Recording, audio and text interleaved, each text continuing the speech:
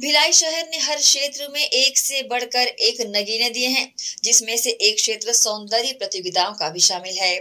Miss universe सौंदर्य प्रतियोगिता में भिलाई की श्रीमती प्रेरणा धाबड़े ने अपना हुनर दिखाते हुए जीत हासिल की है और अपने शहर सहित प्रदेश और देश का नाम सुर्खियों में लिख दिया है। ग्रैंड एशियन न्यूज़ की टीम ने इनसे खास बातचीत की और इस सौंदर्य प्रतियोगिता में जीत हासिल करने की कवायतों को जाना आप भी देखिए और सुनिए की इस सौंदर्य प्रतियोगिता को इन्होंने कैसे जीता और इस जीत में इनके परिवार ने इनका किस तरह साथ निभाया?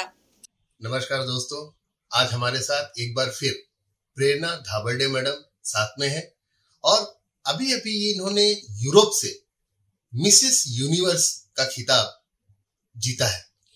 आज हम हाजिर हैं उनके एक्सपीरियंस को शेयर करने के लिए। उनसे पूछेंगे कि ये सफ़र जो यूरोप से अभी उन्होंने वो करके आई हैं, कैसा रहा? और इसके पहले किस तरह का उनका प्रयास था जो आज भिलाई को गौरवान्वित करने के साथ साथ छत्तीसगढ़ को भी गौरवान्वित किया है और भारत देश को भी गौरवान्वित किया है। तो बात करते हैं प्रेरणा धाबरडे मैडम से। मैडम सबसे पहले आपका स्वागत है। धन्यवाद। मैडम बताएँगे मिसिस यूनिवर्स आपका एक टारगेट था इसके पहले भी हमने आपसे बातचीत की थी जब आपने मिसिस इंडिया ग्लोबल का खिताब जीता था। तो आज हमें भी बहुत गर्व हो रहा है आप भिलाई से हैं, और भिलाई के साथ साथ छत्तीसगढ़ और भारत देश को आपने रिप्रेजेंट किया, और उनका मान बढ़ाया है। तो बताएँगे, वहाँ तक की कहानी को हम जानते हैं। इसके बाद, जब आपने मिसेस इंडिया ग्लोबल का खिताब जीता था, उसके बाद किस तरह से आपने ये ठाना कि आपको मिसेस यूनिवर्स का खिताब जीतना है? बहुत बहुत धन्यवाद पहले आपका। और मिसेस यूनिवर्स में जाने का सपना तो मैंने मिसेस इंडिया बनने के बाद से ही देखा था और आपसे बताया भी था पहले। और उसके बाद से मेरी तैयारी शुरू हो गई थी मिसेस यूनिवर्स प्रेजेंट के लिए तो मैंने काफ़ी कुछ रिसर्च किया, उसके बारे में पता किया कि कैसे होता है, कहाँ होता है। फिर मुझे जो पुराने कंटेस्टेंट थे, उनसे पता चला और उसके बाद मैंने जो तैयारी शुरू की, एक साल से चल रही मेरी तैयारी चल रही थी और मिसेस यूनिवर्स एक डॉक्टर वर्तिका पाटिल है, उनसे मैंने ग्रूमिंग क्लासेस ली थी दस दिन की। उसके बाद काफ़ी सारी उसकी प्रिपरेशंस होती है, कैसे बोलने का तरीका और डाइनिंग एटिकेट्स और काफ़ी सारी चीज़ें फिटनेस के लिए और डाइट प्लान प्रॉपर फॉलो करना होता है और ये सारी चीज़ें और डोमेस्टिक वायलेंस के लिए एक शॉर्ट वीडियो बनाना होता है। तो वो सब के लिए फ़िल्म डायरेक्टर के साथ काफ़ी समय बिताया मैंने और नेशनल कॉस्ट्यूम के लिए क्या कुछ मैं अलग कर सकती हूँ। वो सारी चीज़ों के लिए भी काफ़ी सारी तैयारियाँ किया है और इसका परिणाम अभी मिल रहा है। बहुत सारी मेहनत करनी पड़ी है बहुत सारी चीज़ें हैं। ज़्यादातर कोई इस चीज़ के बारे में जानता नहीं है कि वहाँ जाने के लिए क्या करना पड़ता है। जब आप यहाँ से रवाना हुई, जब आप वहाँ पहुँची तो वहाँ और भी देशों के कंटेस्टेंट आए होंगे, ज़ाहिर सी बात है इंटरेक्ट हुए होंगे। तो उनसे मिल करके उनको किस तरह से आपने जाना कि कैसे हैं वो लोग? और क्या आपको उनसे मिलने के बाद ये कॉन्फिडेंट था कि आप ये किताब जीत पाएँगे?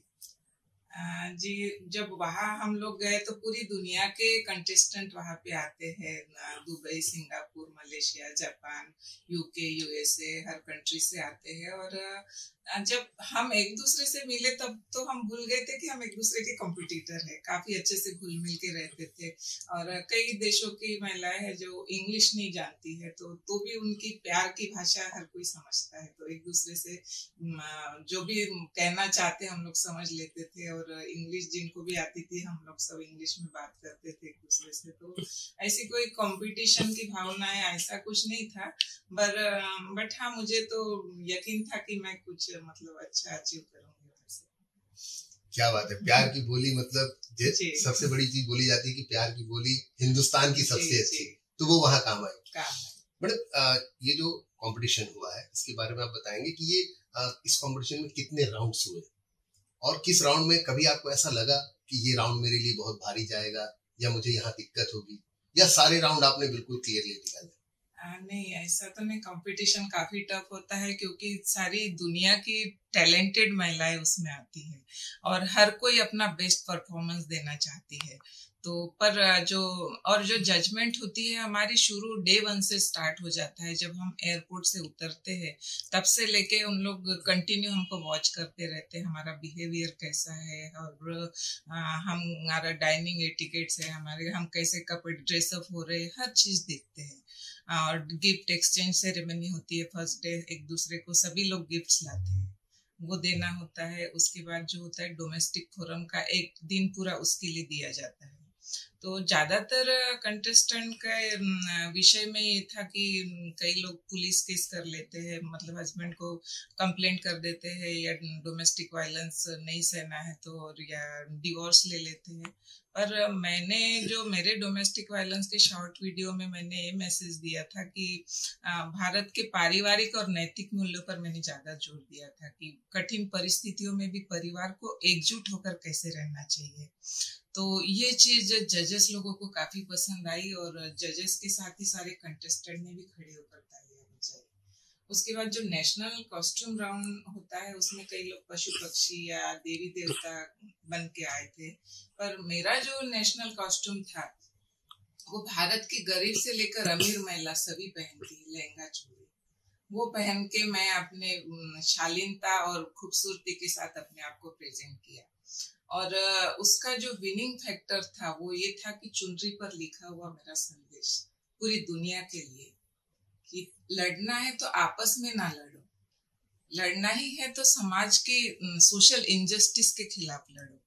और दुनिया को युद्ध की नहीं, युद्ध की कराना नहीं युद्ध की शांति की ज़रूरत है। Don't fight with each other fight against social injustice make peace not तो ये चीज़ें सारे दर्शकों को और जजेस को बहुत पसंद आए और सभी ने तालियाँ अच्छा हम राउंड्स की बात कर रहे हैं राउंड पे राउंड निर्णायक मंडल जैसा आपने बताया कि आपके वहाँ पहुँचने से लेकर के आखिरी तक हर जगह पे कोई ना कोई निर्णायक मंडल आपको वॉच करता रहता है। तो उनके वॉच करने से कहीं आप अनकंफर्टेबल फील किए किसी राउंड में या किसी जगह पे? नहीं वो हमको पता नहीं होता है कि कौन हमको वॉच कर रहा है। क्योंकि हम लोग हंड्रेड कंटेस्टेंट होते हैं। और हमारे बीच में वो लोग रहते तो हमको, हम समझ नहीं पाते कि कोई हमको देख रहा है या कुछ, पर उन लोग अपना काम सुचक करते रहते हैं। चलिए, आप वहाँ से जीत करके आए, इसके लिए बधाई तो है ही। एक सवाल पूछना चाहूँगा।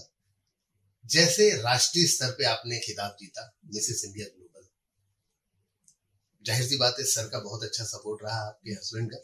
लेकिन इसके बाद और ऊँचा जाना इंटरनेशनल अंतरराष्ट्रीय स्तर पे।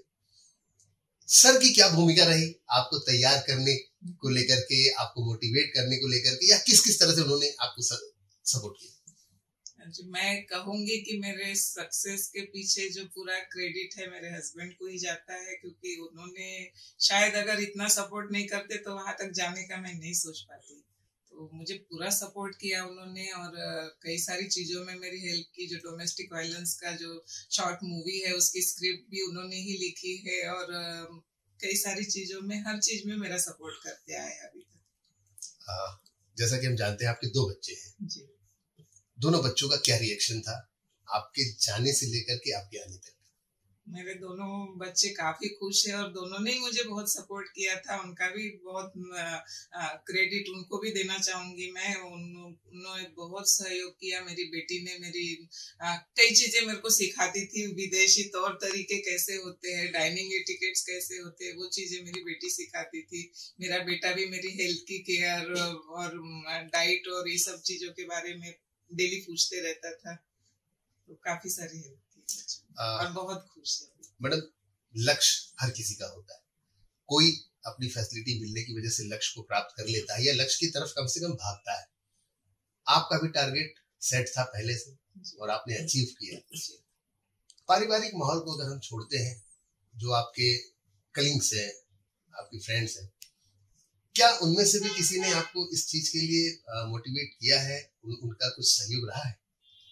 सहयोग तो मेरे पूरे परिवार का रहा, मेरे साथ मेरी फ्रेंड्स का भी रहा, सभी लोगों ने काफ़ी इंकरेज किया।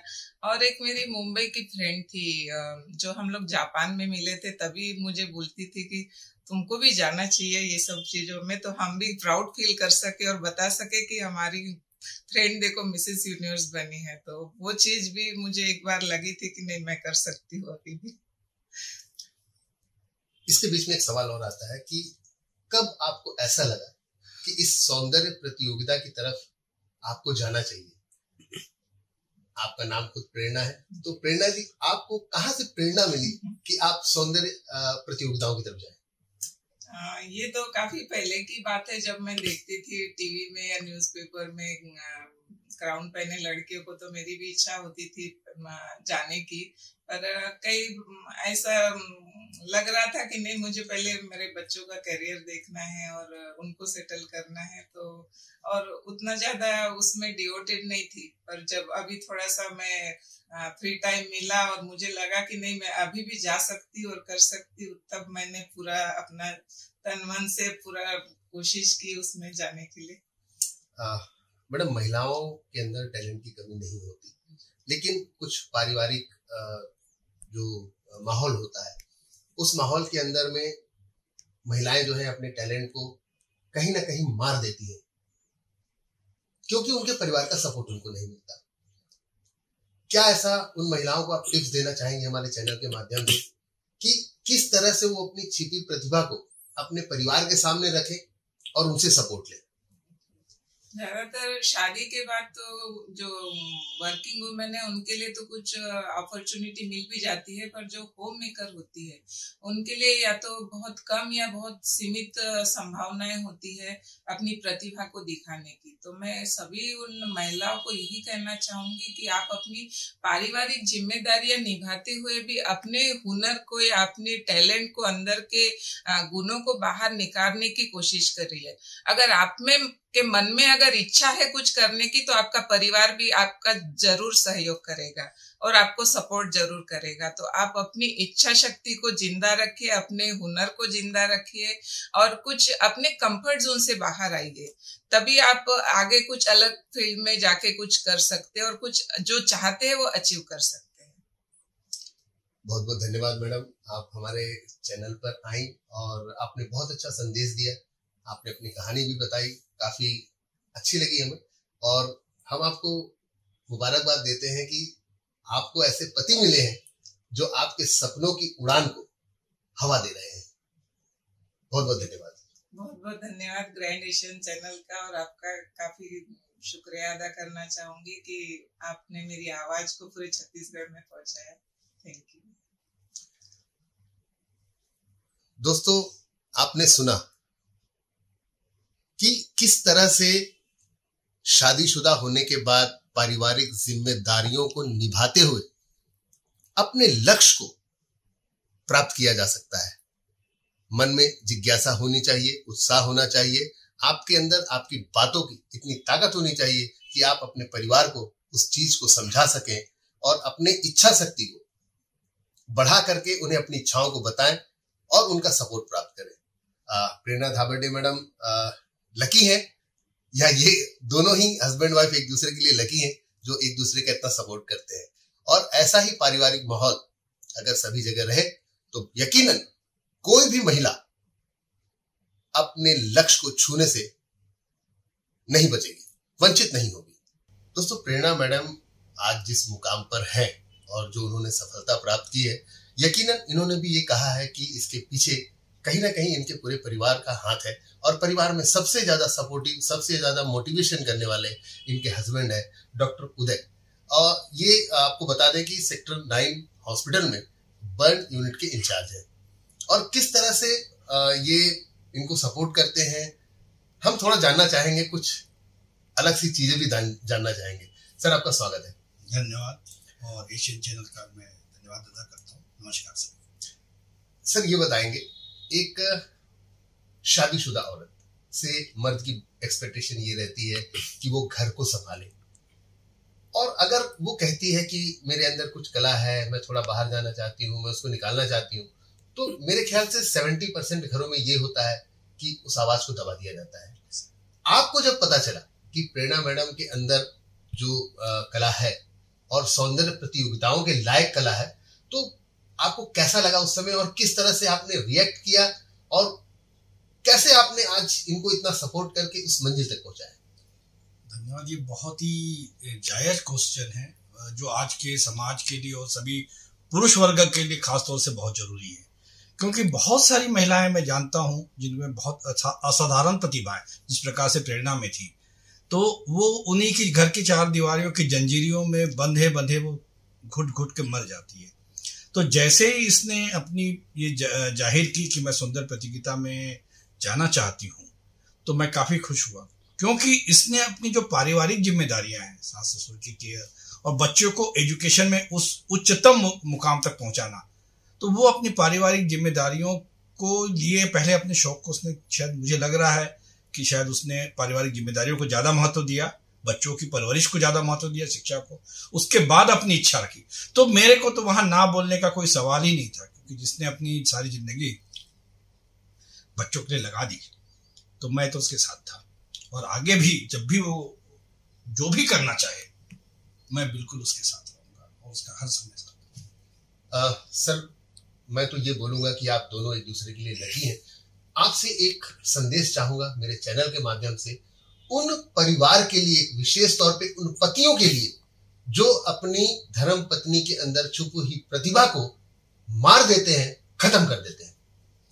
जी, बिल्कुल मैं उन पति, भाई और पिता सभी से निवेदन करना चाहूँगा कि महिलाओं को केवल महिला दिवस तक या सशक्तिकरण तक मत से पेपरबाजी तक या व्हाट्सएप तक ना सीमित रखे। अब ये शुरुआत अपने घर से करें। आप अपने घर से एक महिला को भी आगे बढ़ाते हैं तो वो समाज के लिए एक मुकाम बनती है प्रेरणा बनती है और दूसरे लोग जिस प्रकार से आज प्रेरणा जीत के आई। कई कॉलेज की लड़कियाँ हम आ रही हमारे घर में पूछने, क्या छत्तीसगढ़ भिलाई जैसे छोटे शहर से यूरोप जाया जा सकता है? क्या खिताब जीता जा सकता है? मैंने कहा हाँ अगर आप वो सोच सकते हो तो वो कर भी सकते हो। तो बस उनकी सोच को हमें पंख देने की ज़रूरत है। महिलाएँ अपने आप में बहुत सशक्त है। हमें उनकी सशक्तिकरण की ज़रूरत नहीं बस सिर्फ़ समर्थन की ज़रूरत और सहयोग की अगर हम पुरुष वर्ग, चाहे पति हो, पिता हो, पुत्र हो, भाई हो, अगर इतना भी कर ले तो मैं सोचता हूँ कि बहुत ही ये सृष्टि की जो जननी है इन लोग, ये लोग बहुत कुछ कर सकते हैं और इनको हमें मौका देना चाहिए। दोस्तों, साफ़ कहना है कि सपोर्ट करें, पहले समझें। समझना ज़रूरी है। अगर आपको समझ में आ जाती है बात तो महिला को वैसे भी भारत देश में शक्ति का रूप कहा गया है। तो शक्ति को आप स्वयं शक्ति प्रदान कर सकते हैं। जिस प्रकार से आज उदय सर ने प्रेरणा मैडम को शक्ति दी, उनके लिए शक्ति के स्रोत बने। तो ऐसे ही आप भी अपनी धर्म पत्नी के लिए, अपने बहन के लिए, अपने बहू के लिए, अपनी बेटी के लिए शक्ति का स्रोत बन सकते हैं और महिलाएँ भी वो मुकाम छू सकती है, जिससे वो अपने घर, अपने शहर, अपने ज़िले, अपने प्रदेश सहित भारत का नाम रोशन कर सकती है। ग्रैंड एशियन न्यूज़ के लिए सहयोगी प्रवीण मिर्जे के साथ मैं हूँ संतोष शर्मा।